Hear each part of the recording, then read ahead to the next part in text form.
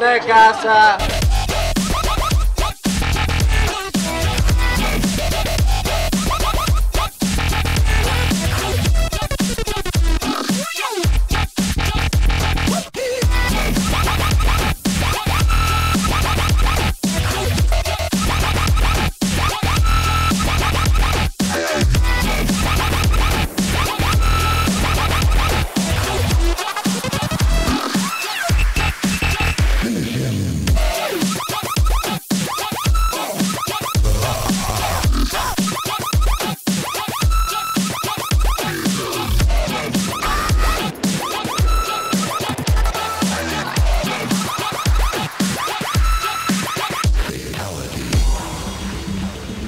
Сегодня игроки футбольного клуба «Краснодар» попробовали свои силы в новой для себя профессии, а именно работников сети ресторана «Макдональдс». Таким образом, Андрей Синицын, Евгений Шипицын, Владимир Коман и Марсио приняли участие в общероссийской благотворительной акции. Ее главная задача – собрать денежные средства, которые пойдут на помощь детям-инвалидам.